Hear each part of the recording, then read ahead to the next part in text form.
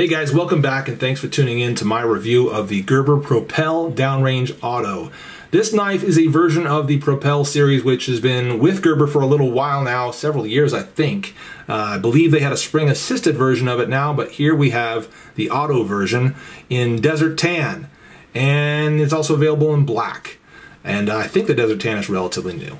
But we're going to talk all about this knife today. Gerber did send this one my way for review several months ago. They've been patient with me as I've been uh, testing it thoroughly and giving it lots of thought, comparing it against other auto knives, and preparing for this review. So, thanks to Gerber and thanks to you guys for being patient and waiting for it. We've got a lot to talk about in regards to this knife. We're going to compare it against a handful of other very good auto knives, see how this one stacks up against them. So let's get into it, covering some of the materials first off. Portland, Oregon, USA is where this one is made, which is a huge win, number one. Okay, made in USA, I'm always happy to see that when I can get it.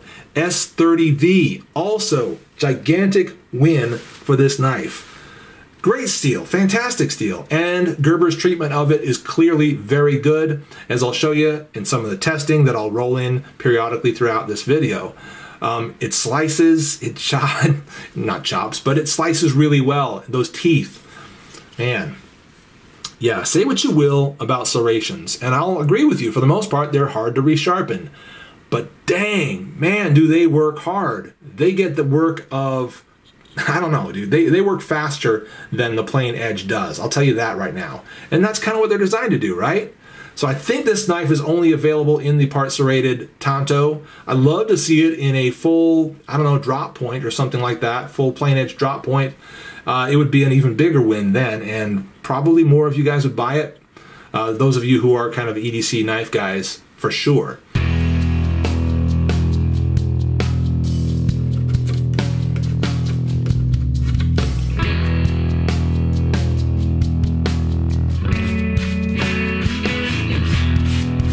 Uh, this is not really, you know, designed to be just an EDC knife for the standard everyday dude. This is something that's going to be definitely targeted at uh, your military and perhaps police. Um, it's it's really kind of made for that purpose, and the name definitely, you know, harkens to that. The downrange. So let's keep that in mind as we evaluate this knife. It's definitely targeted at military. Now the the color, the G10 color there also denotes that. And it is nicely textured, pretty nice and aggressive G10. It's not faux G10, that stuff that's molded to look like it and ends up being way more slick than actual G10. It is quite quite aggressive, um, not cold steel aggressive in the standard grip there, but uh, once you add in these gigantic grooves that they've cut into it, then it becomes far more aggressive and actually really good in hand, and I can see this retaining very well in gloved hands. So that's a huge win to me. Uh, repositionable pocket clip, it looks like. So we've got it here on this side. You can put, you can put it to there if you want to. You can also set it up there if you like tip down instead. That's a huge win. I mean, it would be kind of difficult to put it here, obviously, with these mechanisms that you need to operate. So having it in those positions makes a lot of sense. You also have what potentially could be a nice striking surface right here. Okay, a nice sharp corner, not too sharp, and it's even fairly, you know, tumbled right here. I won't say rounded, but tumbled. Uh, these these edges right there, so it's not going to dig into your hand and give you scrapes and cuts as you're reaching into your pocket for it. But I can see that breaking glass, perhaps uh, subduing um, folks that need subduing, things like that. Uh, I can see that working. Uh, I believe that is that's some kind of a metal, and you can see that that is screwed into the frame there. You can see that there's obviously a safety right here on that side of the knife. If you're a lefty, might be, you know, a little harder to access, but same goes with the auto. You're just gonna have to use your index finger rather than your thumb. Still works, still works. Um, other features worth talking about, uh, the clip itself, I think it's fine kind of scoops out right there. It's uh, not super deep, but honestly, I think it's totally fine. And obviously, I didn't point it out, I didn't mention it, but that's a big lanyard hole there too.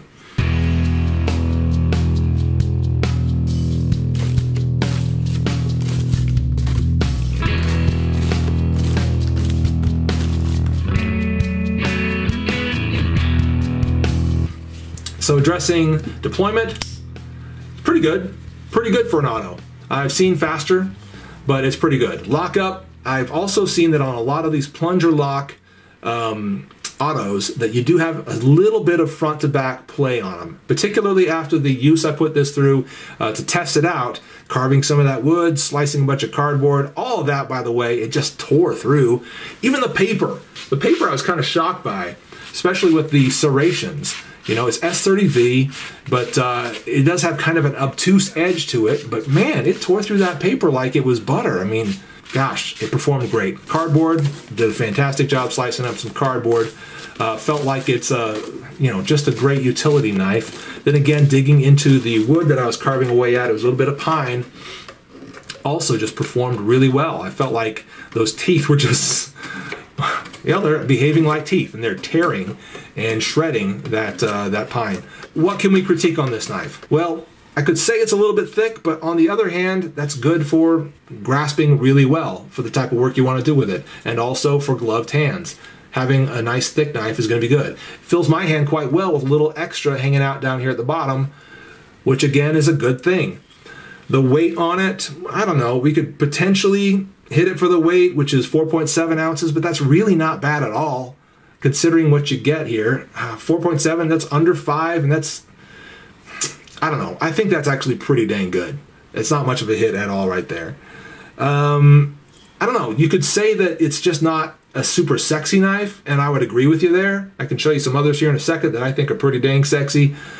But uh, ergonomically, it's great. Functionally, it's great. What's the what's the issue?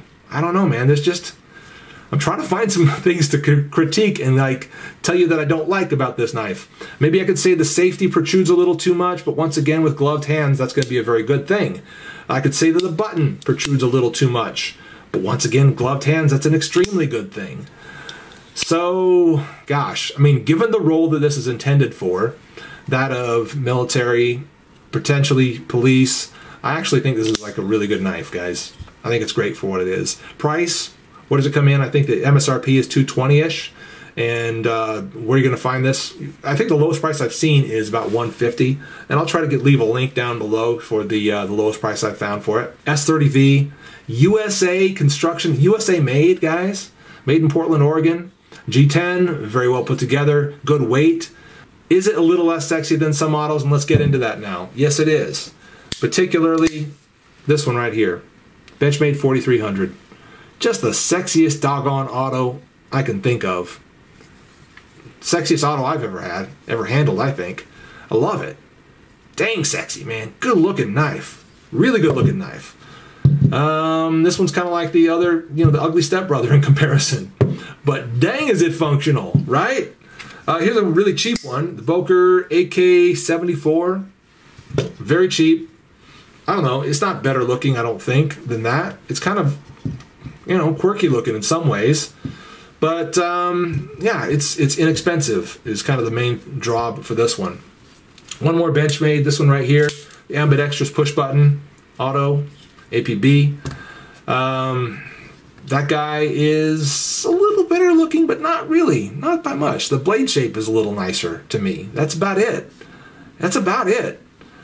I can, all I can say in regards to this knife is it's maybe not the prettiest auto I've seen. But short of that, the price is pretty good. The function is fantastic. And um, it's made in USA. What else do you need? And a pretty dang good price, too. Uh, that's about it, guys. It's, it's performed really well for me. I've EDC'd this a fair bit. I had no complaints really about it. And that's the Gerber Propel Downrange Auto Knife, and that's my review of it. I'm the Late Boy Scout. Appreciate you watching. Stay tuned for much more. We'll see you on the next one. Uh, if you can get it for as low as 50 or so dollars, what a steal. A great knife. And maybe 65 is what you're going to find it for otherwise, which is also still a very good price. Uh, talking about a little bit, uh, talk a little bit about some of the materials. 420 HC is what we have on that blade.